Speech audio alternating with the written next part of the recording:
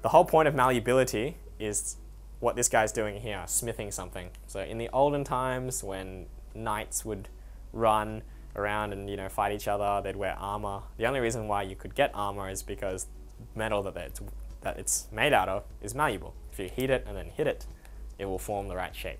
And that was quite an art form back in the medieval history. So to compare the malleability of various elements is our goal. And to classify elements as malleable, brittle, hard or soft.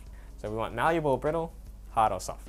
What we're going to do is we're going to use lead sinkers, which are like little balls of lead, zinc granules, graphite rods, and we're going to test their malleability by hammering them gently, gently is the key word here, on a large fiberboard with a, with a sort of ball head hammer. Basically, we're just going to hit them and see what happens. Then we can classify them as malleable or brittle, hard or soft. That's how we're going to do this. It's a very quantitative measure, so don't be worried.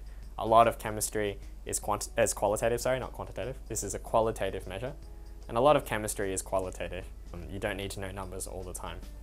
And then we're going to repeat this same thing with the ball hammer and the hitting the metal with different gauges of copper wire, so different thicknesses, as well as different gauges of copper sheet. So here we have two gauges of copper wire and sheets of copper to test this thing on as well.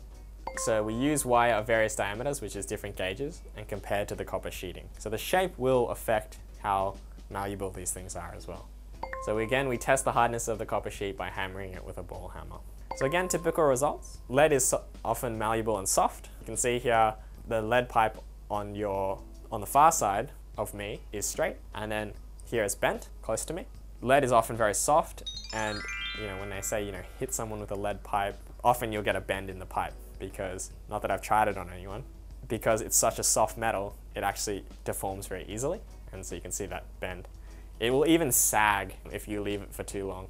A pipe of lead so in the olden days, we used lead pipe. If you had the pipe going like this when it started, eventually the pipe would sort of sag because the metal was so soft. So over time, the pipe starts to sag, which is an interesting property of lead. Now here we have zinc. Zinc is malleable, but it's harder than lead. So it's harder to shape, it's harder to beat into the correct shape than lead is. Lead is really soft, but zinc is a lot harder, but it's still malleable. Now graphite, if you've ever snapped a pencil in half out of frustration, you'll notice that the graphite is pretty brittle. If you were to hit a graphite rod, it will shatter and then you'll destroy that rod. So it doesn't do well with stress, it just shatters.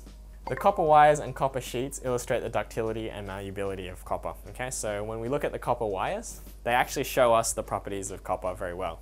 It's a relatively soft metal, copper, because it's readily shapen, uh, shaped by a ball hammer. You can actually deform it very easily. The copper wire itself shows you how well it can be drawn into wire. If you look, if you try it, copper can be deformed much more easily than say something like iron. Iron is a very hard substance and it takes a lot of effort to get it to shape correctly. Those are some typical things that you'll see.